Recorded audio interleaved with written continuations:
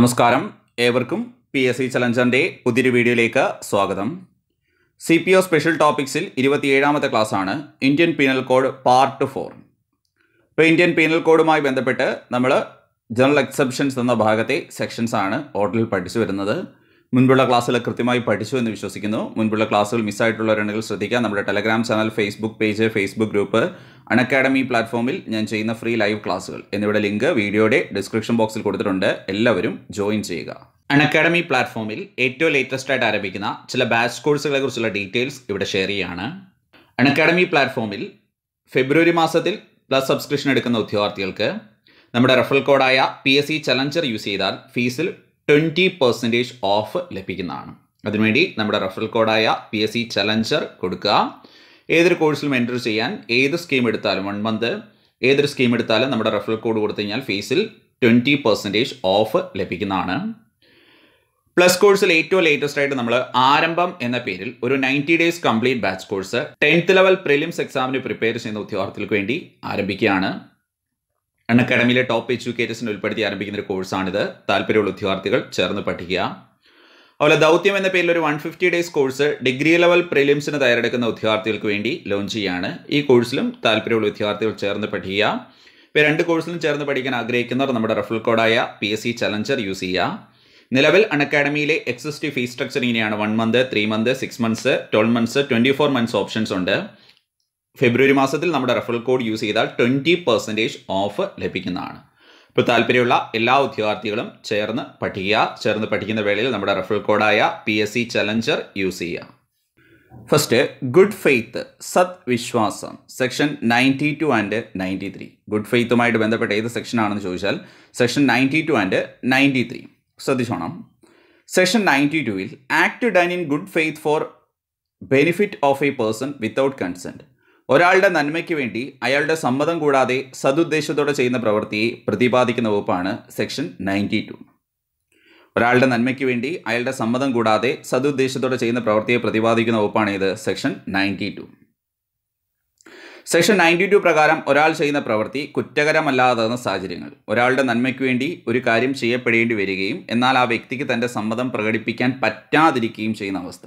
ബ്രിട്ടിലോ ഒരാളുടെ നന്മയ്ക്ക് വേണ്ടി ഒരു കാര്യം ചെയ്യപ്പെടേണ്ടി വരികയും എന്നാൽ ആ വ്യക്തിക്ക് തന്റെ സമ്മതം പ്രകടിപ്പിക്കാൻ പറ്റാതിരിക്കുകയും ചെയ്യുക. ഒരാളുടെ ഗുണത്തിനായി നിയമാനുസൃത സംരക്ഷണ ചുമതലയുള്ള രക്ഷകർത്താവോ മറ്റേതെങ്കിലും ആളോ ഇല്ലാതിരിക്കുക. ഒരാളുടെ ഗുണത്തിനായി ഉത്തമ വിശ്വാസത്തോടുകൂടി അയാളുടെ സമ്മതം കൂടാതെ ഒരു പ്രവൃത്തി ചെയ്യുക. ഇങ്ങനെയുള്ള കേസിലൊക്കെ അതൊരു കുറ്റകരമാവത്തില്ല. മേൽപ്പറഞ്ഞ സാഹചര്യത്തിൽ ഒരാൾ ചെയ്യുന്ന പ്രവൃത്തിയാൽ മറ്റൊരാൾക്ക് ഏതെങ്കിലും ഉപദ്രവം ഉണ്ടായാൽ അത് ചെയ്യുന്ന വ്യക്തി ആ കുറ്റത്തിന് അപരാധിയാകുന്നതല്ല. ഒരു ഉദാഹരണം പറഞ്ഞാൽ ഒരു അപകടം പറ്റി. ഗുരുതരാവസ്ഥയിൽ അബോധാവസ്ഥയിലായ ഒരു വ്യക്തിയെ ഹോസ്പിറ്റലിൽ എത്തിക്കുന്നു നാട്ടുകാരാണ് എത്തിച്ചത്. അപ്പോൾ അയാളുടെ രക്ഷകർത്താവോ അല്ലെങ്കിൽ അയാളുമായി ബന്ധപ്പെട്ട വ്യക്തികളൊന്നും ഹോസ്പിറ്റലിൽ ഇല്ല പക്ഷേ എത്രയും പെട്ടെന്ന് അയാൾക്കൊരു അയാൾക്ക് എന്താണ് ഇന്റേർണലായിട്ടുള്ള ബ്ലീഡിങ് വല്ലതും ഉണ്ട് ബ്രെയിനിലോ വല്ലതും. എട്ട് എത്രയും പെട്ടെന്നൊരു സർജറി നടത്തിയാൽ അയാൾ രക്ഷപ്പെടും. പക്ഷേ അയാളുടെ രക്ഷകർത്താക്കളെ കണ്ടുപിടിക്കാനോ മറ്റു മാർഗങ്ങളൊന്നും പെട്ടെന്നില്ല. അപ്പോൾ ആ സമയത്ത് ഒരു ഡോക്ടർക്ക് വേണമെങ്കിൽ സർജറി നടത്താം. ആ സർജറി സമയത്ത് അയാൾ മരിച്ചു പോയി കഴിഞ്ഞാൽ അതൊരു കുറ്റമായിട്ട് നമുക്ക് കണക്കാക്കാൻ സാധിക്കത്തില്ല. ഈ ഒരു കാര്യമാണ് ഏത് സെക്ഷനിൽ പറയുന്നത്.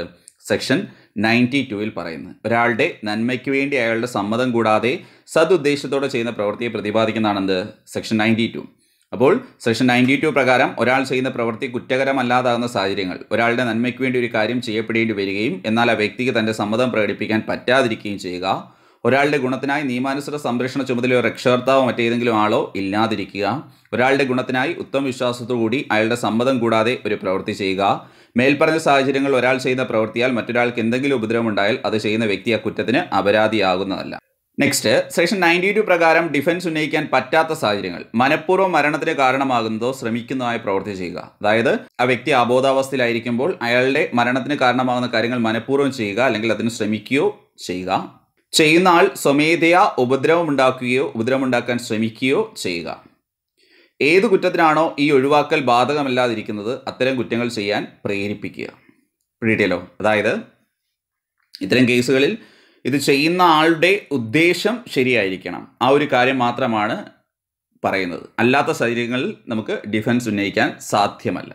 ഓക്കെ അപ്പോൾ ഇത്രയുമാണ് നമ്മുടെ സിലബസിൽ ജനറൽ എക്സെപ്ഷൻസ് എന്നൊരു ഭാഗത്ത് ഇൻക്ലൂഡ് ചെയ്തിരിക്കുന്നത്. നമ്മൾ എഴുപത്തി ആറ് മുതൽ നൂറ്റിയാറ് വരെ എന്ന് പറഞ്ഞു. പക്ഷേ നമ്മുടെ സിലബസിൽ അത്രയും ഭാഗത്തെ കാര്യങ്ങളിൽ ചില സെക്ഷൻസ് മാത്രമാണ് നമ്മളോട് എടുത്ത് പഠിക്കാൻ പറഞ്ഞിട്ടുള്ളത്. ആ കാര്യങ്ങൾ ഇത്രയുമാണ്. രണ്ട് മൂന്ന് ക്ലാസ്സുകളായിട്ട് നമ്മൾ ഡിസ്കസ് ചെയ്തത്. ഇനി നമുക്ക് ബാക്കി സിലബസിലുള്ള സെക്ഷൻസ് ജസ്റ്റ് ഒന്ന് സ്റ്റാർട്ട് ചെയ്യാം. Section two sixty eight public nuisance പൊതുജനങ്ങൾക്ക് ദോഷമോ അപായമോ ഉപദ്രവമോ ഉണ്ടാക്കുന്ന ഒരു പ്രവൃത്തി ഒരാൾ നിയമവിരുദ്ധമായി ചെയ്യുകയാണെങ്കിൽ ആ വ്യക്തി ശിക്ഷിക്കപ്പെടുന്നതാണ് എന്ന് പ്രതിപാദിക്കുന്ന സെക്ഷനാണ് ഏത്? സെക്ഷൻ ഇരുന്നൂറ്റി അറുപത്തിയെട്ട് പഠിക്കുക. പബ്ലിക് നോയിസൻസ് പൊതുജനങ്ങൾക്ക് ദോഷമോ അപായമോ ഉപദ്രവമോ ഉണ്ടാക്കുന്ന ഒരു പ്രവൃത്തി. ഒരാൾ നിയമവിരുദ്ധമായി ചെയ്യുകയാണെങ്കിൽ ആ വ്യക്തി ശിക്ഷിക്കപ്പെടുന്നതാണെന്ന് പ്രതിപാദിക്കുന്ന വകുപ്പാണ് ഇത് സെക്ഷൻ ഇരുന്നൂറ്റി അറുപത്തി എട്ട് പൊതുശല്യമായ ഒരു പ്രവൃത്തിയാൽ ആർക്കെങ്കിലും എന്തെങ്കിലും ഹിതമോ ഗുണമോ ഉണ്ടാകുന്നു എന്ന കാരണത്താൽ ആ ഉപദ്രവം മാ മാപ്പാക്കപ്പെടുന്നതല്ല. പൊതുശല്യമായ ഒരു പ്രവൃത്തിയിൽ ആർക്കെങ്കിലും എന്തെങ്കിലും ഹിതമോ ഗുണമോ ഉണ്ടാകുന്നു എന്ന കാരണത്താൽ ഉപദ്രവം മാപ്പാക്കപ്പെടുന്നതല്ല. ശിക്ഷ. പൊതുജനശല്യം ഉണ്ടാക്കുന്ന ഏതൊരാൾക്കും സെക്ഷൻ ടു നയന്റി പ്രകാരം ഇരുന്നൂറ് രൂപയോളമുള്ള പിഴശിക്ഷ ലഭിക്കാവുന്നതാണ്. ബെയിലബിൾ ഒഫൻസ് ആണ്. അപ്പോൾ പബ്ലിക് നോയിസൻസിനെ കുറിച്ച് പ്രതിപാദിക്കുന്ന സെക്ഷനാണ് ഇത് ഇരുന്നൂറ്റി അറുപത്തെട്ട് ഈ പറഞ്ഞ വളരെ ഉച്ചത്തിൽ പാട്ട് വെച്ച് ബാക്കിയുള്ളവരെ ശല്യം ചെയ്യുക. മനസ്സിലായല്ലോ? അതൊക്കെ എന്താണ്? പബ്ലിക് നോയിസൻസ് അല്ലേ? അപ്പോൾ പൊതു അല്ലെങ്കിൽ പൊതുസ്ഥലത്ത് ചെന്ന് ചീത്ത വിളിക്കുക. ഇതൊക്കെ എന്താണ്? പബ്ലിക് ന്യൂസൻസ് ആണ്. പൊതുജനങ്ങൾക്ക് ദോഷമോ അപായമോ ഉപദ്രവമോ ഉണ്ടാക്കുന്ന ഒരു പ്രവൃത്തി ഒരാൾ നിയമവിരുദ്ധമായി ചെയ്യുകയാണെങ്കിൽ ആ വ്യക്തി ശിക്ഷിക്കപ്പെടുന്നതാണെന്ന് പ്രതിപാദിക്കുന്ന സെക്ഷനാണ് ഇത്. സെക്ഷൻ ഇരുന്നൂറ്റി അറുപത്തി എട്ട് then section two sixty nine negligent act likely to spread infection of disease dangerous to life ഒരു വ്യക്തി നിയമവിരുദ്ധമായോ അശ്രദ്ധയോടെയോ ചെയ്യുന്നൊരു പ്രവൃത്തി കാരണം ജീവന് ഹാനികരമാകുന്ന ഒരു പകർച്ചവ്യാധി പടർന്നു പിടിച്ചാലുള്ള ശിക്ഷയെക്കുറിച്ച് പ്രതിപാദിക്കുന്ന വകുപ്പാണ് ഇത്. സെക്ഷൻ ടു സിക്സ്റ്റി നയൻ ശ്രദ്ധിച്ചോണം ഇരുന്നൂറ്റി അറുപത്തി ഒൻപത് ഒരു വ്യക്തി നിയമവിരുദ്ധമോ അശ്രദ്ധയോടെ ചെയ്യുന്ന ഒരു പ്രവൃത്തി കാരണം ജീവന് ഹാനികരണമാകുന്ന ജീവന് ഹാനികരമാകുന്ന ഒരു പകർച്ചയാതി പറന്നു പിടിച്ചാലുള്ള ശിക്ഷയെക്കുറിച്ച് പ്രതിപാദിക്കുന്ന സെക്ഷനാണ് ഇത്. സെക്ഷൻ ടു സിക്സ്റ്റി നയൻ ശിക്ഷ. ആറു മാസം വരെ തടവോ പിഴയോ അല്ലെങ്കിൽ ഇവ രണ്ടും കൂടിയോ ലഭിക്കാം. ബെയിലബിൾ ഒഫൻസ് ആണ്. ആറു മാസം വരെ തടവോ പിഴയോ അല്ലെങ്കിൽ ഇവ രണ്ടും കൂടിയോ ലഭിക്കാം. Next section two seventy malignant act likely to spread infection of disease dangerous to life ജീവന് അപായകരമായ രോഗത്തിന്റെ പകർച്ച വ്യാപിപ്പിക്കുവാൻ ഇടയുള്ള വിദ്വേഷപൂർവമായ കൃത്യത്തെ പറ്റി പ്രതിപാദിക്കുന്ന സെക്ഷൻ സെക്ഷൻ ടു സെവന്റി ശിക്ഷ രണ്ട് കൊല്ലത്തോളം ആകാവുന്ന തടവോ പിഴയോ അല്ലെങ്കിൽ ഇവ രണ്ടും കൂടിയോ ലഭിക്കാം. ബെയിലബിൾ ഒഫൻസ് ആണ്. ഇപ്പോൾ എന്ന് പറഞ്ഞിട്ട് ഇപ്പോൾ ഈ കൊറോണ വൈറസ് ഒക്കെ വ്യാപിപ്പിക്കാൻ വേണ്ടി നമ്മൾ മനഃപൂർവം എന്തെങ്കിലുമൊക്കെ ചെയ്തു കഴിഞ്ഞാൽ അതെന്താണ്?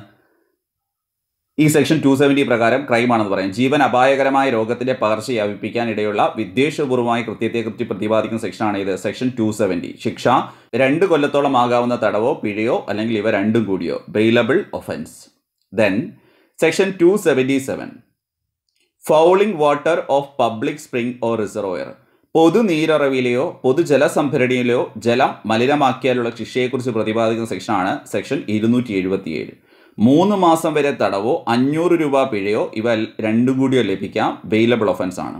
സെക്ഷൻ ഇരുന്നൂറ്റി എഴുപത്തിയേഴ് fouling water of public spring or reservoir പൊതു നീരുറവിയിലെയോ പൊതു ജലസംഭരണിയിലെയോ ജലം മലിനമാക്കിയാലുള്ള ശിക്ഷയെക്കുറിച്ച് പ്രതിപാദിക്കുന്ന സെക്ഷനാണ് ഇത് സെക്ഷൻ ഇരുന്നൂറ്റി എഴുപത്തി ഏഴ് മൂന്ന് മാസം വരെ തടവോ അഞ്ഞൂറ് രൂപ പിഴയോ ഇവ രണ്ടും കൂടിയോ ലഭിക്കാവുന്ന ക്രൈമാണ്.